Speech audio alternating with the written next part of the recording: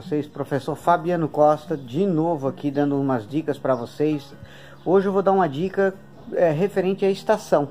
Então vemos que eu estou usando aqui o meu sombrite. Esse sombrite, ele é um sombrite 50%, ele está sendo usado até agora no final quase do outono.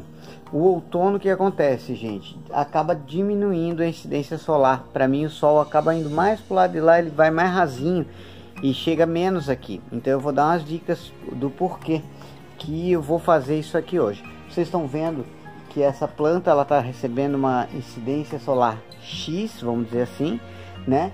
Que é 50% do que ela poderia receber porque o sombrite está bloqueando isso daí, está filtrando esse é, esse sol.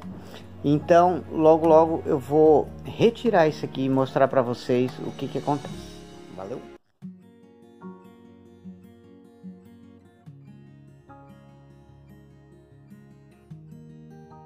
Agora acabou.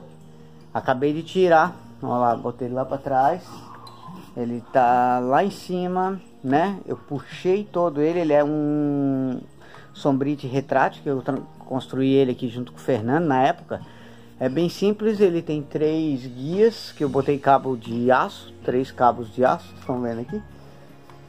E lá passei três canos com o buraco dele e fiz uma armação, é muito simples. Eu tenho ele mostrando como é que funciona.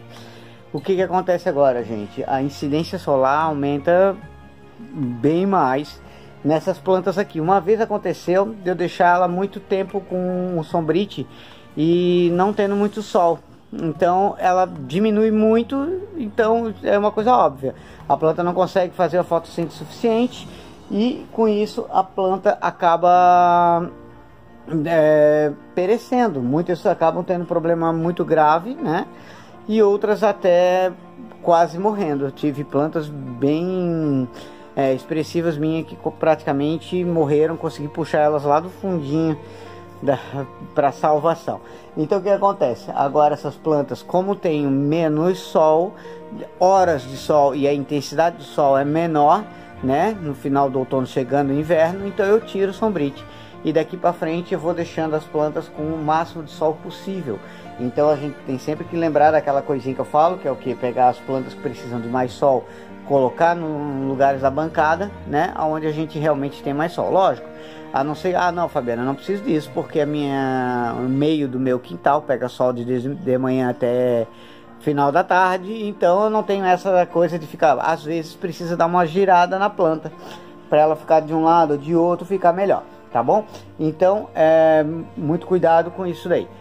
Uh, deixa sempre ela pegando sol, tipo essa planta aqui, é uma jabuticabeira, ela pega muito sol pro lado de cá. Então vocês veem, deixa eu mostrar ela bem de frente aqui. A brotação tá bem mais forte pro lado de cá, aqui tá um pouco mais é, escura. E lá tá mais clara puxando, porque ela tá brotando mais lá. Porque o sol vem mais aqui. Então de vez em quando é legal fazer o que? Dar uma girada na planta mesmo no seu eixo, na bancada. Beleza? Essa é uma dica só de outono que eu tô dando para vocês agora, tá? Quem, quem não deu o curtir ainda, dá o curtir nesse vídeo, por favor. Por favor, né? Curtam. Por favor, é, se inscrevam, quem não está inscrito no canal aí, aciona o sininho, beleza? E quem não conhece ainda, entra para nossa turma lá, conheça então o curso como fazer bonsai.com levando o bonsai de iniciante para todo o Brasil e para todo mundo que fala a língua portuguesa. Valeu? Grande abraço, pessoal. Muito obrigado e até a próxima.